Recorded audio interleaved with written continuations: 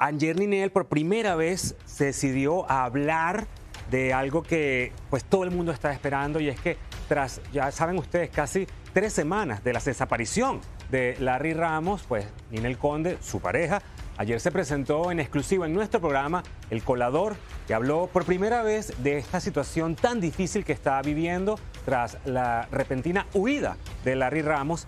Y aquí está lo que me dijo ella de cómo lo está viviendo, así que vamos a escuchar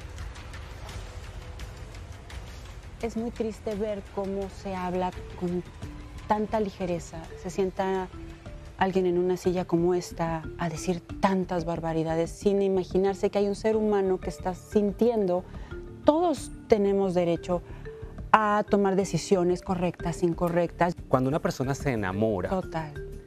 Eh, se ciega a veces y nos negamos a ver lo que quizás está de anteojito. O a escuchar también. ¿no? Porque sí lo advirtieron, había pruebas pero tú decidiste seguir tu corazón. Ahora bien, sabemos que lo estás buscando los agentes federales a él. Y eso es un peligro porque en teoría se ha fugado. ¿Eso te ha afectado a ti? ¿Han los federales venido a ti también a buscarte? Mira, te digo, no quiero entrar en detalles, pero no. A mí nadie me ha venido a buscar, a mí nadie me ha interrogado. Eh, yo no es un problema legal para mí, es un problema del corazón. Ya.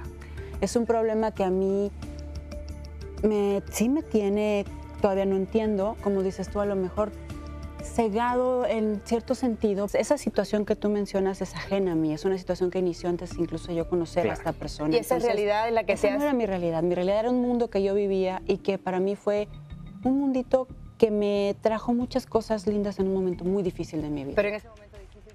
Dato curioso, nunca de sus labios se pronunció la palabra Larry Ramos. Y cuando se refirió a él, un poco lo, su sentir, dice que es cuando una persona fallece en un accidente que ya no está.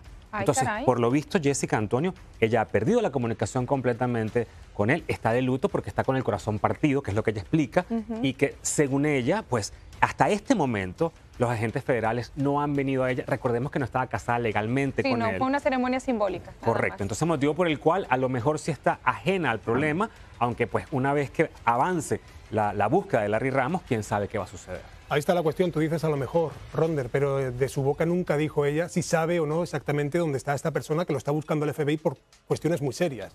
Claro, ya Hubiera sido también un buen momento para dejar claro, yo no sé dónde está, pero no lo dijo nunca. Yo creo que ella, una de las cosas con las que hablé con ella fuera de cámara, en off the record, es que sus abogados le han aconsejado que no hable nada, porque cualquier cosa que diga puede ser tomada en su contra. Ustedes saben cómo son las leyes de este país. Ella está ejerciendo la mayor discreción a la hora de tocar este tema, que lo hace con pinzas y de una manera pues diametral para alejarse un poco y distanciarse de la Ramos. Bueno, así tiene que hacer mucha suerte para ella.